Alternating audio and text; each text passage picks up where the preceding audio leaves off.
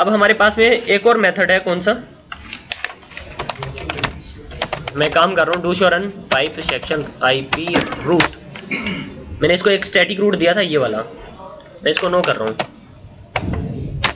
मैंने हटा दिया। अब इसके राउटिंग टेबल में कोई रूट नहीं है शो आईपी रूट देखो thirty dot one dot one dot one तक जाने का कोई रूट नहीं है। तो मैं इसको दोबारा स्टैटिक रूट बता रहा हूँ। कैसे बताओगे? IP route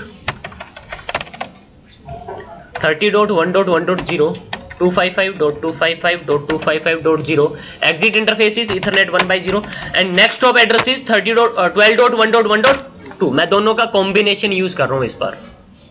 इस बार हम लोग क्या यूज़ कर रहे हैं? दोनों का कॉम्बिनेशन बात आ रही है समझ में?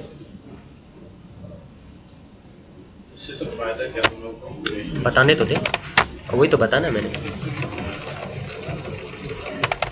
आईपी रूट इसकी राउटिंग टेबल में 30 डॉट 30 के नेटवर्क तक जाने के लिए यहाँ पे नेक्स्ट ऑफ़ एड्रेस भी दिखा रहा है और यहाँ पे एग्जिट इंटरफेस भी दिखा रहा है। तो आप पैकेट फ्लो के बारे में डिस्कस करेंगे पैकेट फ्लो कैसा रहेगा?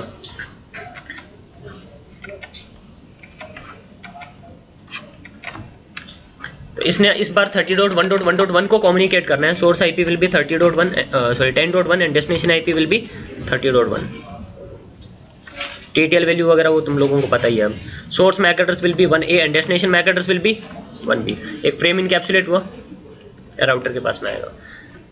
लेयर टू हेडर ओपन करेगा डेस्टिनेशन मैक एड्रेस खुद का है लेयर टू पे क्या कर लेगा? एक्सेप्ट कर लेगा। लेयर थ्री हेडर ओपन करेगा डेस्टिनेशन आईपी चेक करेगा डेस्टिनेशन आईपी क्या है? Thirty dot one dot one dot one है। अगर thirty dot one dot one dot one खुद होगा तो एक्सेप्ट कर लेगा, अगर खुद नहीं है तो राउटिंग टेबल लुकअप कर करके फॉरवर्डिंग डिसीज़न लेगा। ये राउटिंग टेबल लुकअप करेगा। Thirty dot one dot one dot one तक जाना है। तो एग्जिट इंटरफेस क्या है? तो पैकेट किस इंटरफेस से एग्जिट करना है? इस वाले इंटरफेस से। रिकर्सिव लुकअप परफॉर्म हुआ यहाँ पे क्या? नहीं। रिकर्सिव लुकअप तो नहीं परफॉर्म हुआ ना। इसको पता चल गया, पैकेट इस इंटरफेस से क्या करना है? एग्जिट करना है। ठीक है। तो पैकेट इस इंटरफेस से एग्जिट होगा बट एग्जिट करने से पहले इस पैकेट में क्या होगी? कुछ मॉडिफिकेशन टीटीएल में डिक्रीमेंट कर देगा। Source MAC address will be exit interface MAC address and destination MAC address will be अब यहाँ पे एक ये चेक करेगा जो डेस्टिनेशन आईपी है, वो मेरे सेम नेटवर्क में है डिफरेंट नेटवर्क में अब डायरेक्टली कनेक्टेड तो दिखा नहीं रहा था। और 30 30 के नेटवर्क तक जाने के लिए ये आईपी इसके लिए क्या था? गेटवे तो मैक एड्रेस किसका अटैच करेगा? 12 dot one dot one dot two का। तो अब यहाँ पे प्रॉक्सी आर्प की भी कोई प्रॉब्लम आएगी? ये 30 dot one dot one dot one के लिए आर जनरेट नहीं कर रहा है किसके लिए जनरेट कर रहा है? गेटवे के लिए, और एक ही बार जनरेट करेगा। अब इस गेटवे का इसको जब मैक एड्रेस मिल जाएगा, अपनी एआरपी टेबल में गेटवे का मैक एड्रेस कितने टाइम के लिए होल्ड करके रखेगा ये? फोर आर के लिए। और अब अगर इसने 30 dot one dot one dot two को भी कम्युनिकेट करना है तो मैक एड्रेस किसका अटैच करेगा? गेटवे का 12 बी हमेशा। कोई प्रॉक्सी नहीं लगेगी। कोई रिकर्सिव लुकअप नहीं होगा। दोनों प्रॉब्लम यहाँ पे सोल्व हो जाती है ना। बात आ रही है समझ में? किसको नहीं समझ में आया बता दो। बोलो। सर मेनली हमारा फिर यही यूज़ होता है। हाँ यही यूज़ करेंगे। कॉम्बिनेशन क्लियर है ये चीज़? हाँ जी। प्रॉक्सी आप में कोई एक्स्ट्रा स्टेप तो है है। हाँ बट प्रॉब्लम है ना। R1 की आर टेबल में नंबर ऑफ़ एंट्रीज कितनी आ रही थी? और इस इंटरफेस पे कितनी सारी आर रिक्वेस्ट और रिस्पॉन्स आ रहे थे? है ना? सर तो इसमें जो हमारा आर वन है उस पर आर रिक्वेस्ट वगैरह नहीं आएँगे? कॉम्बिनेशन अरे भाई मेरे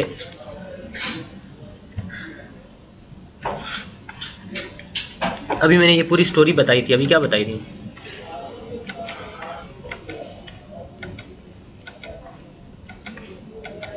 दोबारा सुन लो यार।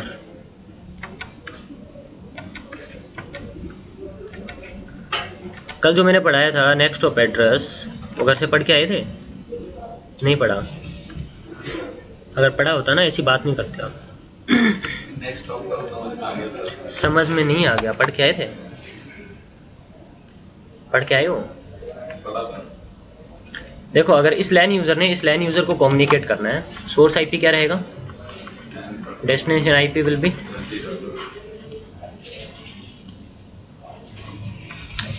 source MAC address destination MAC address router देखेगा डेस्टिनेशन आईपी क्या है? Thirty dot one dot one dot one को पैकेट भेजना है तो किस इंटरफेस से पैकेट एग्जिट करना है? इससे इंटरफे इस इंटरफेस से पैकेट क्या करेगा? एग्जिट बट एग्जिट करने से पहले इस पैकेट में क्या होगी? कुछ मॉडिफिकेशन सोर्स आईपी वही रहेगा. डेस्टिनेशन आईपी वही रहेगा। टीटीएल वैल्यू में क्या हो जाएगा? डिक्रीमेंट सोर्स मैक एड्रेस क्या रखेगा? डेस्टिनेशन मैक एड्रेस क्या रखेगा? वो देखेगा जो thirty dot one dot one dot one जो है वो मेरे सेम नेटवर्क में या डिफरेंट नेटवर्क में। सेम नेटवर्क में नहीं है, यहाँ पे क्या पड़ा है इसके लिए? गेटवे अगर सेम नेटवर्क में नहीं है ये तो डेस्टिनेशन मैक एड्रेस किसका अटैच होता है? गेटवे का ना? और इस नेटवर्क तक जाने के लिए ये आईपी क्या है? गेटवे है। तो मैक एड्रेस किसका अटैच होगा? गेटवे का। Twelve dot one dot one dot two का। अगर इसके एआरपी टेबल में मैक एड्रेस पड़ा हुआ है twelve dot one dot one dot two का तो फाइन अगर नहीं पड़ा हुआ तो एक आर रिक्वेस्ट भेजेगा इसके लिए twelve dot one dot one dot two के लिए। और ये क्या कर देगा? आर रिस्पॉन्स दे देगा twelve dot one dot one dot two अपना मैक एड्रेस दे देगा ना क्या? ट्वेल्व बी तो इसकी ARP टेबल में एक एंट्री आ जाएगी। और ये मैक एड्रेस क्या अटैच कर देगा अब यहाँ पे? और पैकेट इस इंटरफेस पे क्या कर देगा? फॉरवर्ड लेयर टू पे एक्सेप्ट कर लेगा डेस्टिनेशन मैक एड्रेस इसी का है। लेयर थ्री ओपन करेगा डेस्टिनेशन आईपी क्या है thirty dot one dot one dot one routing table lookup करेगा और आगे फॉरवर्डिंग डिसीज़न ले लेगा। आगे बात समझ में। और अब अगर इसने कम्युनिकेट करना है thirty dot one dot one dot two को भी पैकेट आएगा किसके पास में? राउटर के पास में। लेयर थ्री ओपन करेगा डेस्टिनेशन आईपी क्या thirty dot one dot one dot two है। Thirty dot one dot one dot two को डेटा भेजना है तो इस इंटरफेस से पैकेट क्या करना है? एग्जिट इस इंटरफेस से पैकेट एग्जिट करेगा बट उस पैकेट में कुछ मॉडिफिकेशन करेगा ना source MAC twelve A and destination MAC will भी वो देखेगा thirty dot one dot one dot two मेरे सेम नेटवर्क में है डिफरेंट नेटवर्क में थर्टी डॉट टू तक अगर जाना है तो ये आईपी उसके लिए क्या है? गेटवे सेम नेटवर्क में नहीं है। डिफरेंट नेटवर्क में और ये आईपी उसके लिए, वहाँ तक जाने के लिए क्या है? गेटवे तो मैक एड्रेस किसका अटैच करेगा? गेटवे का। इसके एआरपी टेबल में मैक एड्रेस पड़ा हुआ है ना twelve B twelve B attach करेगा, भेज देगा। आगे बात समझ में? तो आर्प कितनी बार जनरेट होगी? एक ही बार किसके लिए? गेटवे के लिए।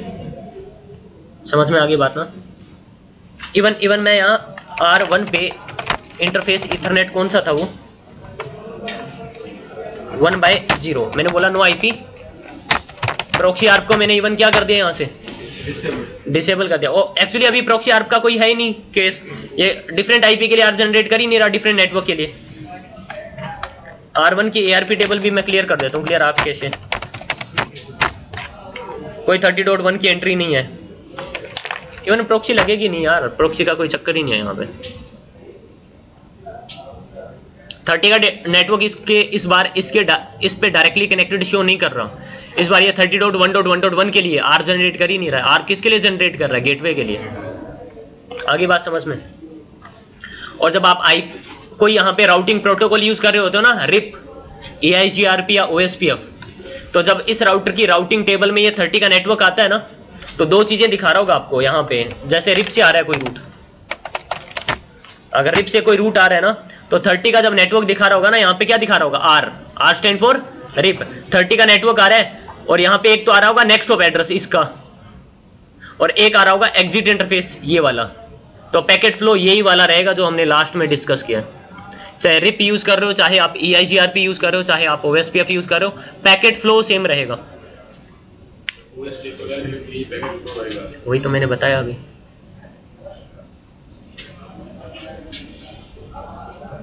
RIP E I G R P O S P F कोई भी राउटिंग प्रोटोकॉल यूज़ कर रहे हो, जब ये दोनों नेटवर्क इसकी राउटिंग टेबल में आएँगे ना तो कैसे दिखा रहा होगा? जैसे thirty dot one dot one dot zero slash twenty four exit interface is this next of address is this जब राउटिंग प्रोटोकॉल डिस्कस करेंगे, तब आपको दिखा दूँगा वो मैं चीज़ तो तुम देखोगे पैकेट फ्लो अगर इस तरह की एंट्री है राउटिंग टेबल में तो पैकेट फ्लो यही रहेगा सेम क्लियर हटा दूँ इसको मैं।